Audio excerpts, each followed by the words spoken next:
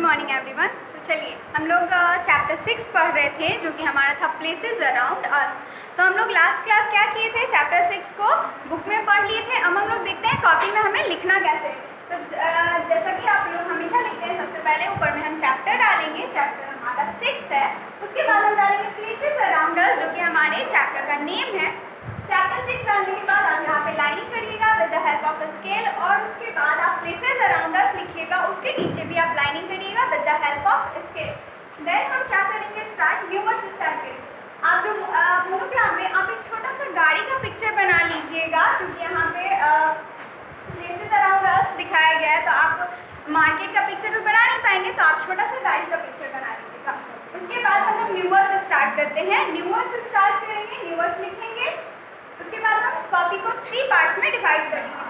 One two and last one is three three parts में divide करेंगे divide करने के बाद हम क्या करेंगे?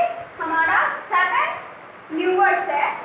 नंबर हमारा doctor second number is sick three number is board four number is street five number is drop six number is board and the last one is market इसको आप चॉइस करिएगा।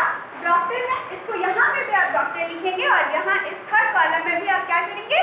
डॉक्टर लिखेंगे। ऐसे आपका न्यूवर्स कंप्लीट हो जाएगा।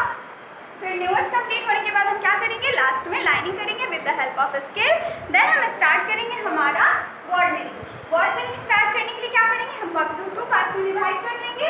एक साइड वर्ड लिखेंगे और दूसरे साइड मीनिंग तो हमारा फाइव वर्ड मीनिंग है। फ़र्स्ट नंबर वर्ड मीनिंग हमारा सिक सिक का मतलब होता है बीमार पैसेंजर यात्री क्वार्टर कूली नीड ज़रूरत, बाई, खरीदना। ये हमारा फाइव वर्ड मीनिंग्स है। ये आप अपनी कॉपी में लिख लीजिएगा। वर्ड लिखने के बाद लाइनिंग डालना और मीनिंग लिखने के बाद लाइनिंग डालना मत भूलिएगा। ये हमारा कंप्लीट हो गया word meaning word meaning complete होने के बाद हम क्या करेंगे? वहाँ नीचे में with the help of scale lining कर देंगे। उसके बाद हम स्टार्ट करेंगे हमारा क्वेश्चन आंसर जो कि हम नेक्स्ट क्लास में करेंगे। आज के लिए इतना ही। आप लोग अपनी कॉपी को अच्छे से बनाइएगा और कॉपी सबमिट करवा दीजिएगा स्कूल में must okay thank you and have a nice